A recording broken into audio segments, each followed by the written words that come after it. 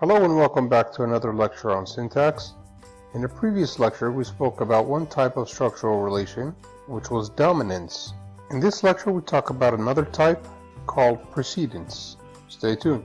Now we can talk about the notion of precedence. Precedence generally means that you show up before something else. So for example, if we were to look at this tree and take it like a normal English sentence going from left to right, which one comes first? Does D come first or E? So again, picture this was some actual words like the, nice, car. Which comes first, the or nice? Of course, the comes first, then nice. Now one type of precedence is called sister precedence. And basically what that means is that first of all we have to look for some sisters. So let's take for example J and K. J and K are sisters because they share one mother. Now which node precedes the other? J precedes K because J is to the left of K and they share the same mother. Does G precede H? Yes, it does, because G is to the left, and G and H share, the same mother, which is C. Does I precede H? No, because I is not to the left of H.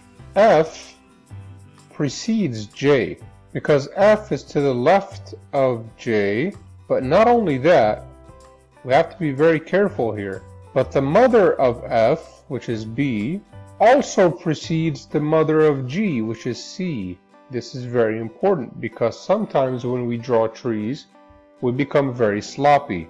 So one person might draw the tree like this. Now in this case, in this sloppily drawn tree, we ask the same question. We're still going to say that F precedes G, even though it looks here at the bottom that G is the one that precedes F. But it only looks that way because we drew the tree very sloppily. So what we're going to do to make sure that something precedes something else is to look at the mother of each one. So the mother of G is C and the mother of F is B. Now let's look up here. Which one precedes the other one? It's clear that B precedes C. Therefore, F precedes G. Great, so D precedes E. E precedes F. Also, E, sister precedes F. D, sister precedes E and F. But none of these sister precede G because they're not sisters in the first place. So F, F precedes G, but F does not sister precede G because they're not sisters. They are of different mothers. The last type of precedence we want to talk about is called immediate precedence. So X immediately precedes Y if there is no node Z which intervenes between the two. It's very important here to understand that sister precedence is not the same as immediate precedence. So if we have node A, node B, and node X, A immediately precedes B. But in this case, A does not immediately precede B because X is in the way. So let's see the difference now between sister precedence and immediate precedence. F and G.